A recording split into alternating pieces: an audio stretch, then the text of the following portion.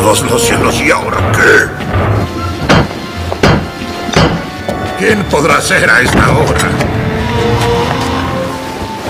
Señorita Everglot, ¿qué está haciendo aquí? Debería estar en casa postrada por la pena. Pastor Goldswells, debo preguntarle algo. No es un buen momento. Por favor, se lo suplico. Usted es el único en la ciudad que sabe lo que hay más allá de la muerte. Un temible tema para una futura novia. Es una novia a quien temo. Por eso debo saberlo. ¿Los vivos se casan con muertos?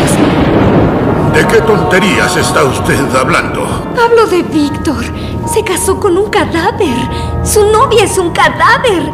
Debe haber alguna forma de deshacer lo que ha hecho. Me parece que sé lo que hay que hacer. Venga conmigo.